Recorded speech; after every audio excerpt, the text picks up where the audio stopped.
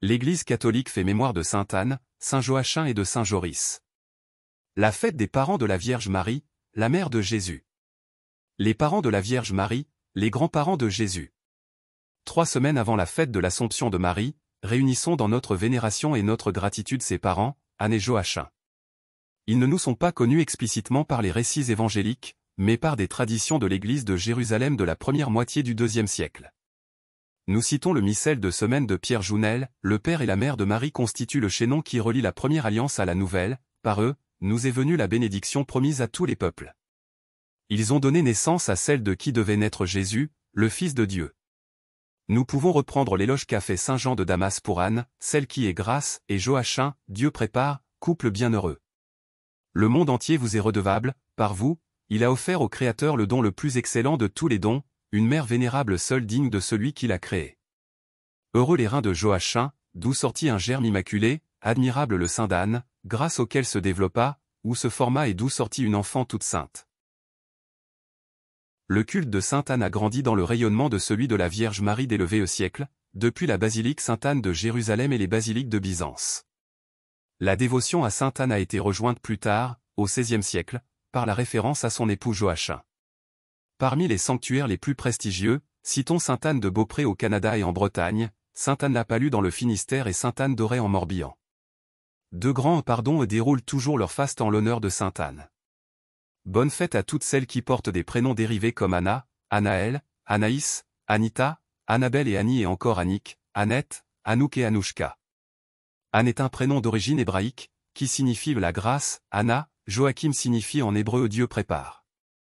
Saint Joris. Joris est un prénom dérivé de Georges et signifie en grec terre et travail ou terre et force. Évêque de la Grande Arménie au mont Sinaï, venu en pèlerinage à Boulogne-sur-Mer, Joris meurt subitement à Béthune dans le Pas-de-Calais le 26 juillet 1033. Vite reconnu comme un saint homme de Dieu, il y est inhumé dans l'église Saint-Barthélemy. Il est le saint patron de la confrérie flamande des Frères d'Or. Sainte Anne, Saint Joachim, Saint Joris, priez pour nous. Évangile. Celui qui entend la parole et la comprend porte du fruit. Alléluia. Alléluia. Heureux ceux qui ont entendu la parole. Dans un cœur bon et généreux. Qui la retiennent et portent du fruit par leur persévérance. Alléluia. Évangile de Jésus-Christ selon Saint Matthieu. En ce temps-là, Jésus disait à ses disciples, Écoutez ce que veut dire la parabole du semeur. Quand quelqu'un entend la parole du royaume sans la comprendre, le mauvais survient. Et s'empare de ce qui est semé dans son cœur. Celui-là, c'est le terrain ensemencé au bord du chemin. Celui qui a reçu la semence sur un sol pierreux. C'est celui qui entend la parole. Et la reçoit aussitôt avec joie. Mais il n'a pas de racine en lui. Il est l'homme d'un moment. Quand vient la détresse ou la persécution à cause de la parole Il trébuche aussitôt celui qui a reçu la semence dans les ronces. C'est celui qui entend la parole.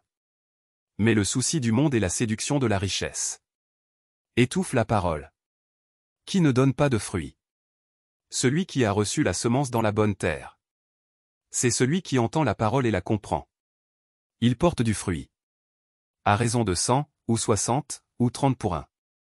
Acclamons la parole de Dieu. Louange à toi Seigneur Jésus.